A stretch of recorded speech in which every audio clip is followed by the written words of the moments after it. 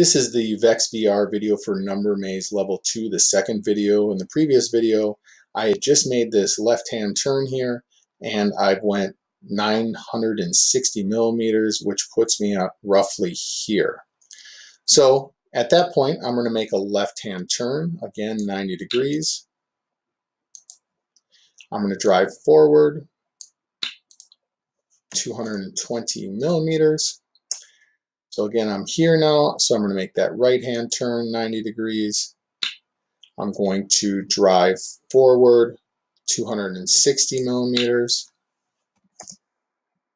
And then I'm going to make a left-hand turn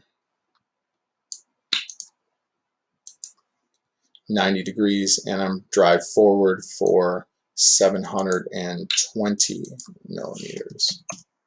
So what I'm going to do is play my program and uh, as I talk about playing my program, you can see my distance my robot travels and the location on the XY axis here.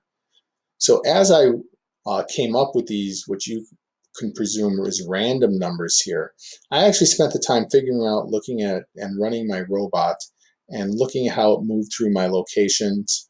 Uh, you can see the angles in which my robot moves up here too. So I'm using this information uh, to uh, write my program.